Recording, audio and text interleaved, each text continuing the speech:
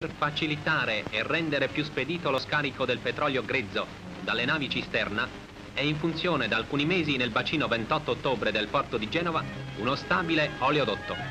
Collegata mediante speciali raccordi la nave all'imboccatura di esso, il prezioso liquido viene pompato direttamente ai serbatoi di carico che ne costituiscono il primo deposito in attesa che le grandi autobotti lo trasportino alle raffinerie.